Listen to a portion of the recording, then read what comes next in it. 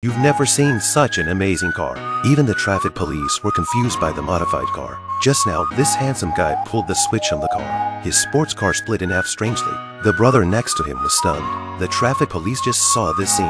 The guy was still driving the car arrogantly. Even with the siren blaring, the two brothers ignored it. They drove roughshod over the city. The passerby on the road looked at it in surprise. At this point, the brothers had a great idea to get away from the police car. They drove into a small alley. The police car couldn't brake in time and crashed into a tree. The police could only watch as the brothers left. After that, the brothers were thrilled. The elder brother wanted to show off the car to his girlfriend, but the lady looked at the car with disdain. So the guy pulled the switch. The car separates in an instant. The lady screams at the top of her lungs. They're riding freely on the road, enjoying the thrill of driving, but there's danger on the horizon. The car plunged into the river. This story tells us, don't modify the car freely, please drive safely.